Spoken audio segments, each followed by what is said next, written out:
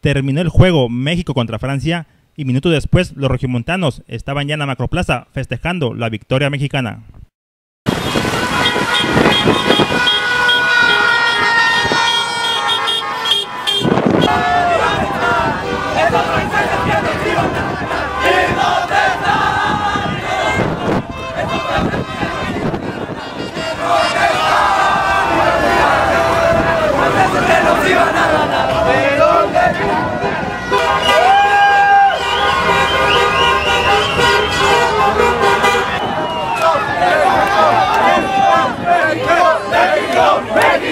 México, México, México, México.